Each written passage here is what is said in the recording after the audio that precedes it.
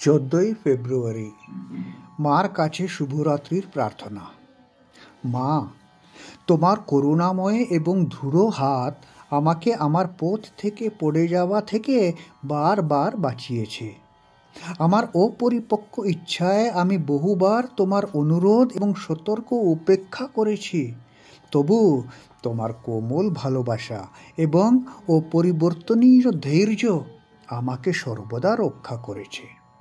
আমাকে আশীর্বাদ করো মা, যে তুমি কখনোই আমাকে ত্যাগ করবে না এবং আমার ক্ষুদ্র পাত্রটি ধারে রাখতে পারে, তার চেয়ে অনেক বেশি আশীর্বাদ আমাকে দিতে থাকবে। আমাকে উপলব্ধি করাও যে আমার ছোট্ট জীবন আমার নয়, এটি তোমার অনন্ত জীবন যা আমার ছোট্ট আমির সাথে বাঁধা আছে। জয় মা জয় মা জয় মা।